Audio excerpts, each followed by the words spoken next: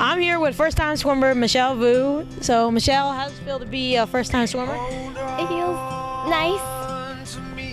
And um, how is it going so far? We had um, our first swim meet on Friday. How did you feel like you did that on that swim meet?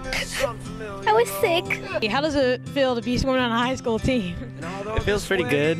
Um, it's kind of cold at practice, but I'm getting through it.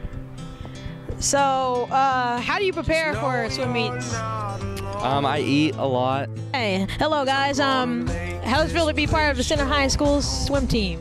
Feels really great, actually. It's fun. Yeah.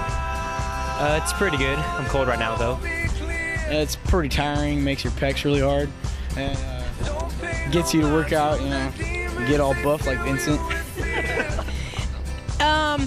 Has it been tough, like since this is your guys' first year, right? As a swim team, has it been hard to adjust the just to swim mode? Yeah, it has. It's been really cold. The first days of practice, I was shivering. I felt like quitting at first. It's too cold for me, but I got used to it.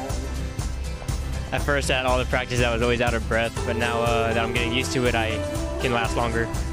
You know, I would say swim I thought was a lot easier, and I thought I was a lot faster till I actually came in and swam with one of the, some of these guys from center. And I would have to say I need a lot of work to get on their pace and on their level. And this year is going to be a great year. Let's hope we do really good, and let's go center.